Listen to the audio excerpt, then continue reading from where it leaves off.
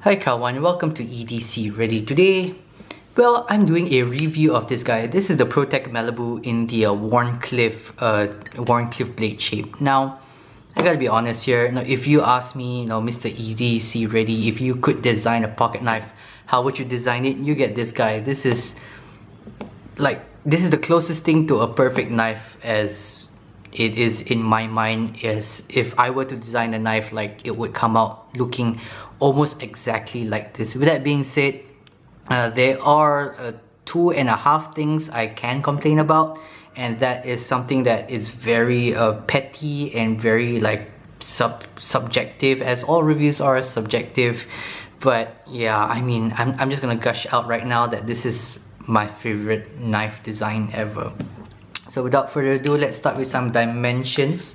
Okay, this guy is coming in at a, a blade length of about uh, 83 and a half, sorry, 83.5 millimeters or 3.29 inches on my calipers. We have here a blade thickness of a very thin, of a very thin 0.12, 0.13 inches, right around there uh, we have here a blade oh god so good. We have here a blade uh, handle thickness of about uh, just under half an inch and then a handle length of all right handle length of uh, 4.2 inches. So just fantastic dimensions. Let's talk about another dimension. This is the weight dimension.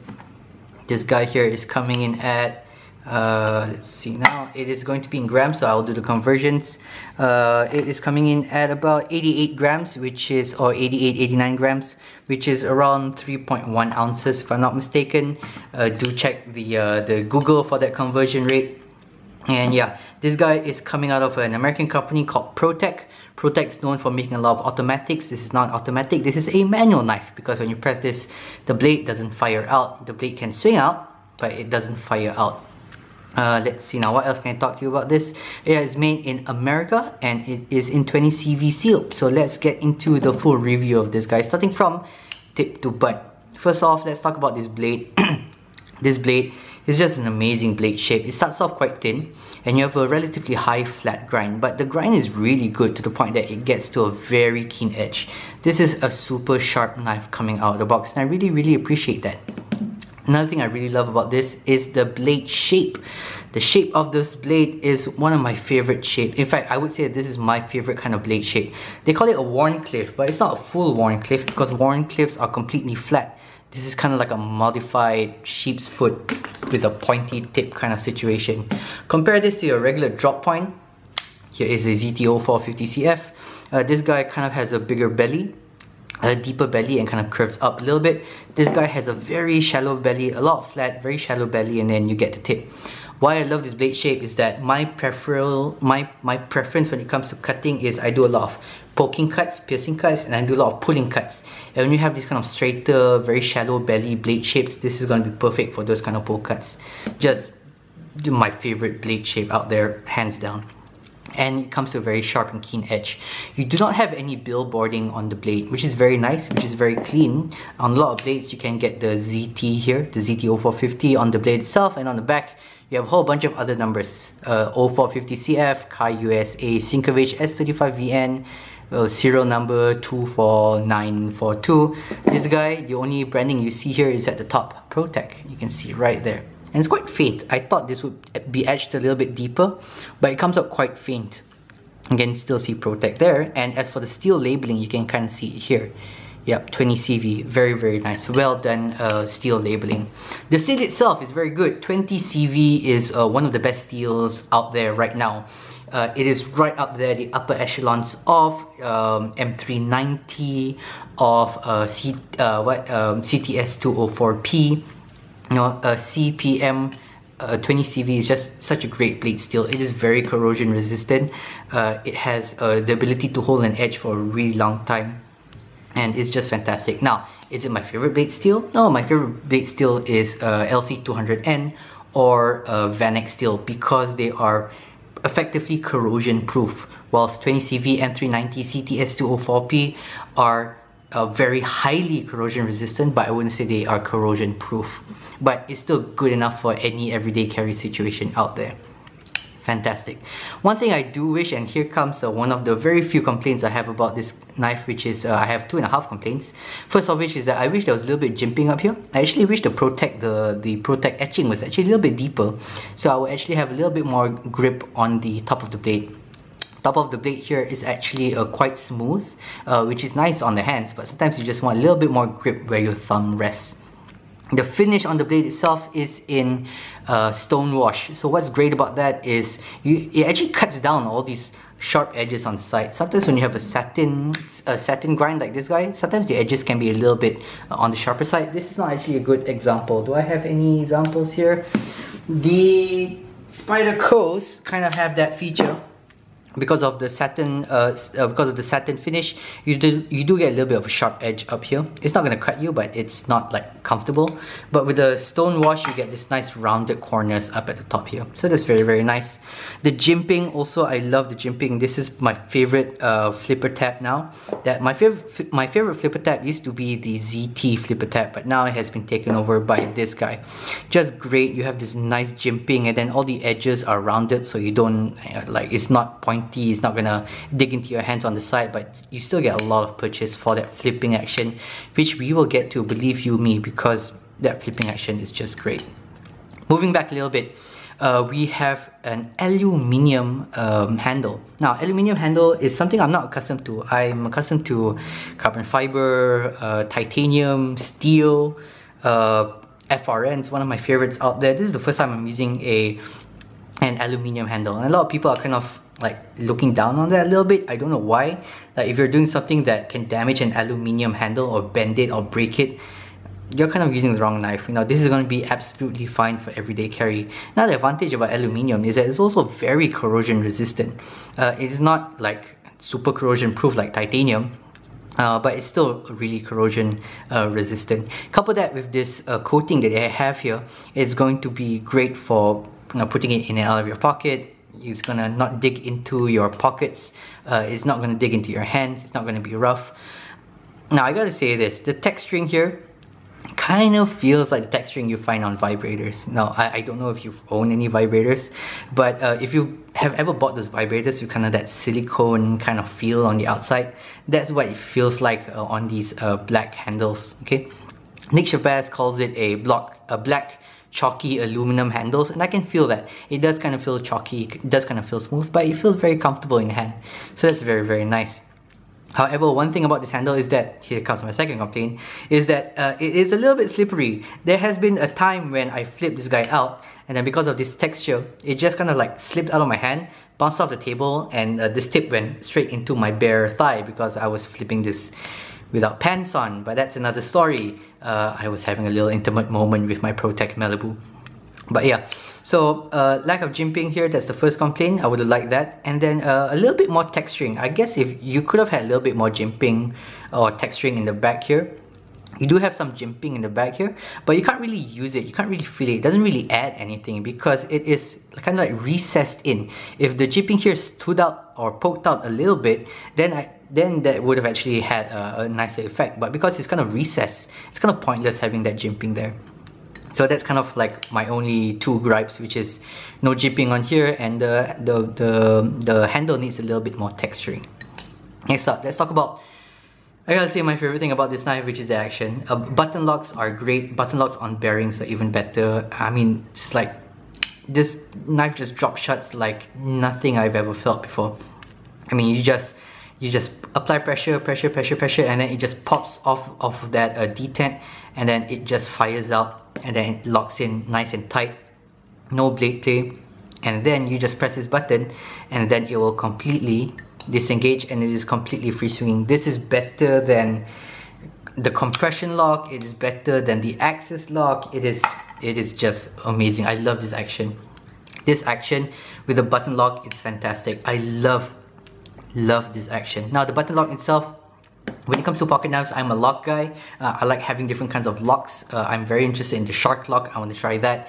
And button locks are just amazing because once you pass that detent, okay, uh, and then there is pretty much very little or zero lateral pressure being placed onto the blade. And then with the bearings, once you disengage the lock, it will completely uh, swing uh, because there's no like lateral pressure. All it has is those bearings on the side compared to something like a frame lock. Once you disengage the lock, okay, you're still gonna get the pressure of the frame lock on the blade. So it doesn't exactly have a fall shut action. You can definitely sh uh, shake it shut. It's not gonna swing shut unlike this guy. Yeah, just like that. And that and it works better than compression lock, uh, uh, than a compression lock, than an axis lock. Just it's just my favorite locking mechanism uh, right now. Now another thing I do want to complain about is the the screws are kind of weird. Okay, so you have nice screws in the sense that these screws are deep. Okay, you have hex here. Uh, I believe it is a 1.5 hex bit. It's nice and deep here. It's nice and deep here. But over here is using a T6 screw and I don't really understand why they went with the T6 screw. I don't understand why they can't just have a similar screw like this on this side for the stop pin. So that's kind of a weird thing. And you know what? The thing about T6 screws is that it can go in here, it can go in here, and it can go in all of here. So I don't know why um, this uh, you can technically take this part with just one screw that T6 but T6 screws kind of strip out quite easily I'm not actually a big fan of T6 screws on hardware which is why I really like uh, this guy and this guy. So these two guys, uh, you can take them apart with T8 screws. This guy absolutely with just T8 screws.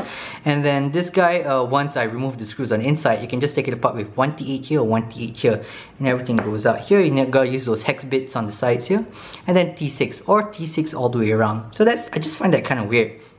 I can't, I don't understand why they can't just use the hex, the same size hex bit for all of the screws, or uh, have screws that fit T8s that go all the way around. Yeah, so that's kind of weird. But other than that, the construction of this guy is a-okay. This opens like half and half. This back spacer is actually integrated into the handle along the lanyard hole, which is very nice. So you just unscrew these and then uh, everything just pops up. You do need to keep in mind the button lock is under spring, ten uh, spring tension, so you don't want that to pop out and then kind of like fly across the room. So you just gotta make sure that is fine and then uh, there you go. The button lock itself is actually a very simple design. The only part of the only mechanism of the lock is just a little bar that moves back and forth. So it only has two moving parts and then the entire mechanism is just captured in this one small area compared to let's say a liner lock where the locking mechanism takes pretty much more than half of this whole scale and a back lock pretty much takes half of the back portion of the knife. This guy locking mechanism, very small area of the knife, even smaller than a Benchmade axis lock. So that's very, very nice. But that action, that action, once you disengage it, it is just drop shutty. And this is the most fidgety knife there is. Coupled with the fact that a button lock just means that it's 95% ambidextrous because I can disengage it like that. Or I can disengage it like that with a thumb or with the index finger and it's just 95 maybe 96% ambidextrous pocket clip Protech does pocket clips really well. I've heard my first Protech, I can absolutely see that they are doing everything right when it comes to the pocket clip. It's a deep carry pocket clip, that's one, very nice. The screws are recessed into the pocket clip, that's nice. The pocket clip is recessed into the handle, that's very nice. You have uh, a nice swoop down, and then once it swoops, swoops up, it flattens out. And that's very nice because sometimes you get these kind of uh, pocket clips where you just go down and then they kind of go back up. And then this can kind of be a hot spot when one uh, especially when you grip it really hard or when you want to pull it up to put it into your pants. But with this guy with that flat portion you can kind of just go in and then you can lift it up. No problem. Not painful. And then in the hand no hot spot from that little flat portion right there. Although do keep in mind um, I like to do this to put knives into my pocket so it doesn't tear out the top of my pocket. You do tend to leave a little nail residue uh, on the bottom of uh, on on the handles right there. So you really bear down on it, you can kind of see a little bit white there. That is my nail coming out. But that's very nice. Keep your nails sharp. Keep your nails uh, short as well as I fail to do that many many times. Alright, so in conclusion, uh, great blade steel, okay, CPM 20CV, great blade shape, great uh, labeling on the on the blade. Amazing amazing action and locking mechanism. Just love that. Fantastic flipper tab uh, nice handle. Very small in the pocket. I forgot to mention once you put this in the pocket top part of your pocket is just that wide and it's very tiny. Uh, that is the only thing that compares to is even bigger sorry it's even smaller than the uh, quiet carry waypoint which is already a small knife already. So it carries very small in the pocket and it carries deep carry in the pocket as well fantastic to carry uh, comfortable in hand you have all these nice chamfered edges on the edges here and then it's chamfered and then the corners are rounded off so you don't really get any hot spots at all my only complaint is that it's a little bit slippery because there's no jimping here, there's very little texturing here, even though it is comfortable in hand. And once you have it in hand, all these finger grooves actually hold it quite well. But it's just that the feeling of the knife, the feeling of the texturing feels a little bit slippery. So I wish they would have had a little bit more jimping up here.